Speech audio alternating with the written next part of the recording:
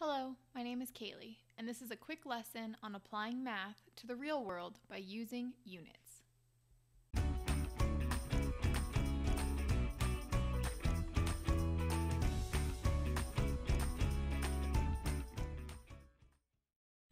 Before we start this lesson, it will be helpful if you already know the units typically used in physics.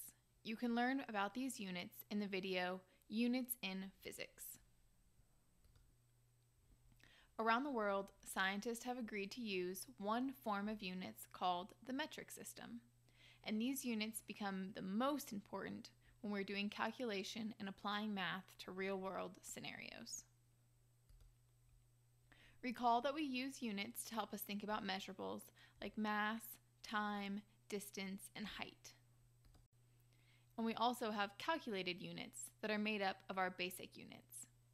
We use calculated units for measurables like velocity and acceleration, forces like friction and the normal force, and all of the types of energies.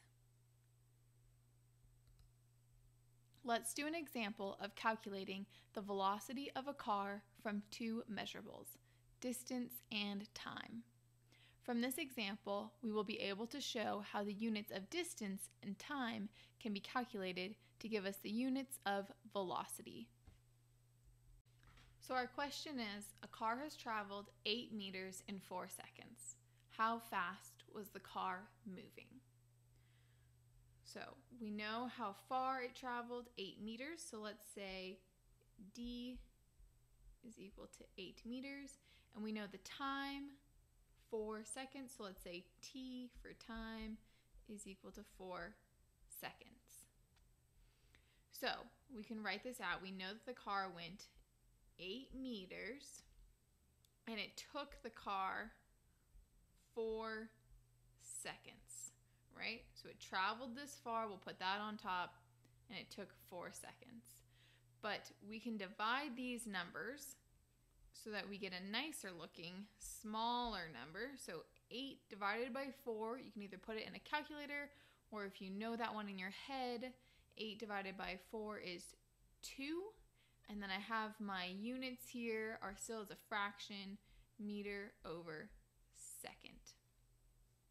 But we've already learned in our last video, the units in physics, that this right here is actually a really important term. So meter over second are the units that are used for velocity. So in a way, we already found out how fast the car was moving. It's moving two meters for every one second, which is the same as saying eight meters for every four seconds.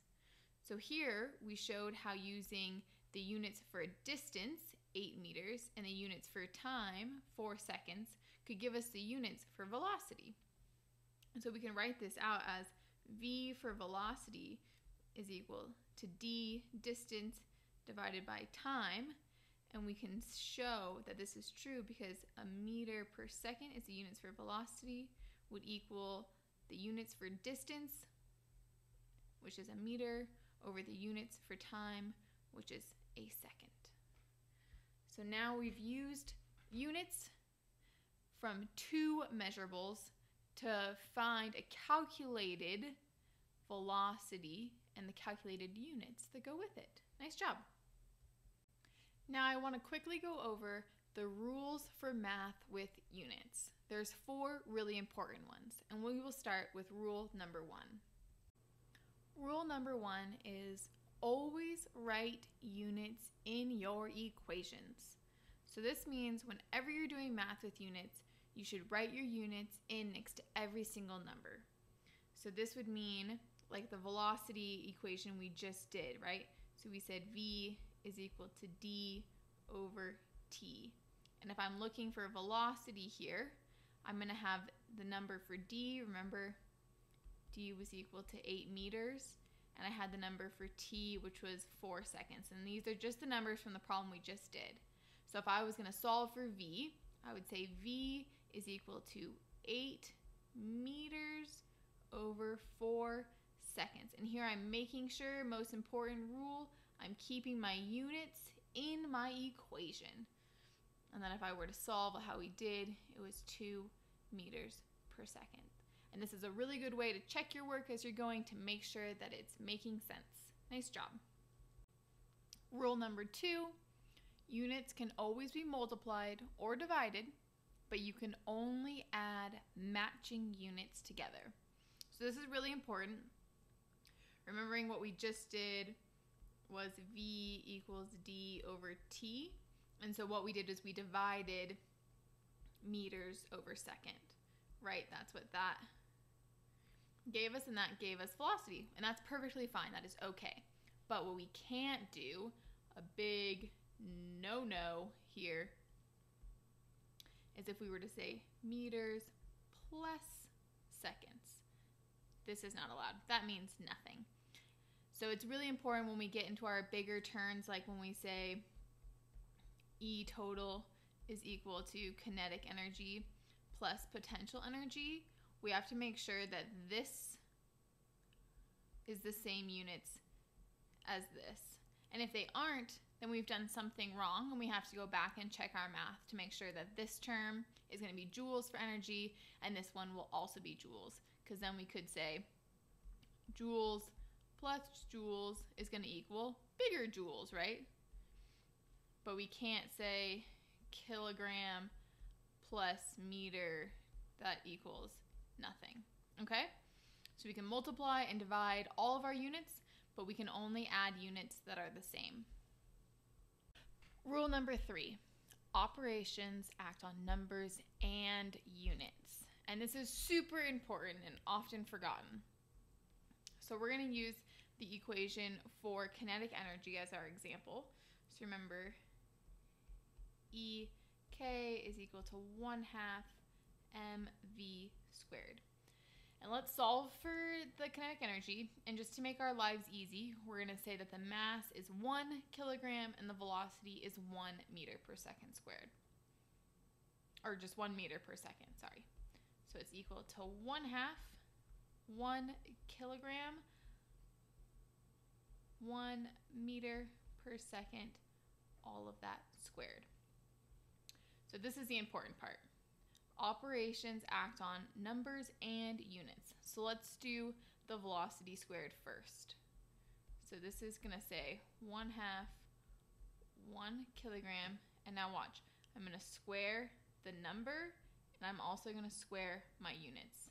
So I'm going to get 1 meter squared over second squared. And this stays 1 because 1 times 1 is still equal to 1. So now, first operation done. Second operation, I'm going to multiply these two together. So watch, I'm going to say this is equal to 1 half, and then watch, I'm going to multiply my numbers together. So 1 times 1 is 1, but I'm also multiplying all of my units together. So a kilogram times a meter squared per second squared. All right.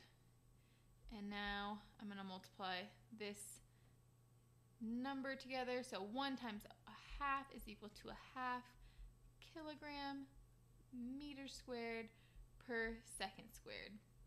And see, this is really good because now I need my energy. So I had to use my units and operate through them so that I could get this big jumble of units, which equals a joule. So then I can say EK is equal to half joule. And that's my answer. But I only got this answer of the joule here because I put all of my operations onto my units as well as my numbers. All right? So nice job. Rule number four units follow the rules of fractions. So to demonstrate this rule, I'm going to write out a confusing combination of units and we're going to use the rules of fractions to simplify these units and see what it breaks down to. So I'm giving you a joule times a second squared over a meter squared. And I'm telling you right now that this all equals a basic unit. So that means either a kilogram, a meter, or a second. Okay. So let's try to figure this out using rules of fractions. So I'm going to rewrite this J as its simplifier, which is a kilogram meter second per second squared. So that's just the J. I broke that down into its parts. And then I still have to multiply that by a second squared over a meter squared. So using rules of fractions, I can multiply these together because I don't need anything to look the same. So I can say kilogram, meter squared, second squared, all over, multiplying my denominators, second squared over meter squared. And then from here, using my rules of fraction, right, if I have something on the top that matches something on the bottom, I can cross it out. So I have a meter squared on the top, I have a meter squared on the bottom. And look at I also have a second squared on the top and the second squared on the bottom. So then all of that would simplify down to a kilogram. All right, so look at this right here is equal to the simplified version of that right there. And we just used the rules of fractions that we already know to do some math to manipulate our units into something really easy. Nice job!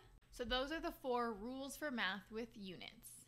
You can refer back to these rules as you work through the problems in the next two videos, solving energy equations and solving energy equations with friction.